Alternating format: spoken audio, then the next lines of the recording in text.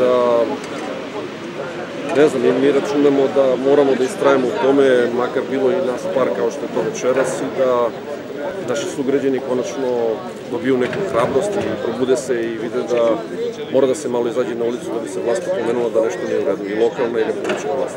Mm, Za sada nema nikakvih grupa, to su, to su baš građani. Mi primećujemo da su među nama i bivši političari, čak i sadašnji političari.